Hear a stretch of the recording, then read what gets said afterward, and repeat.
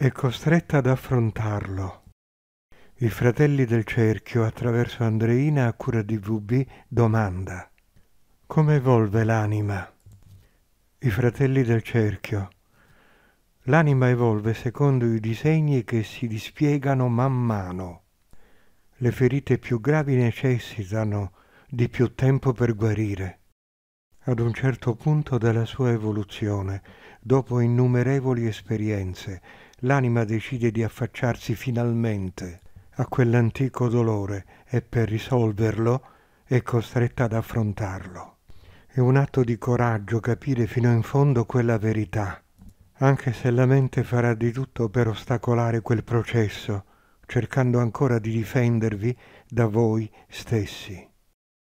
Per capire per quale motivo si aspetta tanto tempo per risolvere quell'antico dolore, Nonostante durante il dopomorte si abbia ben chiaro quale sia il nodo da risolvere, bisogna considerare le innumerevoli varianti attraverso le quali deve passare un'anima che evolve. Il risultato che ci si propone non è così immediato. Può essere che ci siano altre priorità o può darsi che ciò che ci si propone non venga a compimento per tanti motivi. Quello più evidente è il dolore causato dalla convinzione di non meritarsi l'evento che si vive.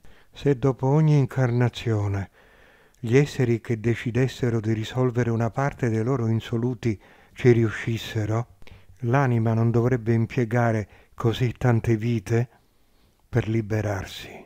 Evolvere significa essere duttili alla trasformazione che inevitabilmente ci coinvolge, ci passa attraverso, fluisce in noi e noi ci immergiamo in essa.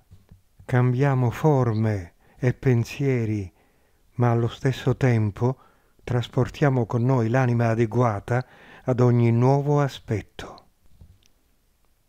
Svolgete serenamente la vostra vita, i fratelli a voi vicini.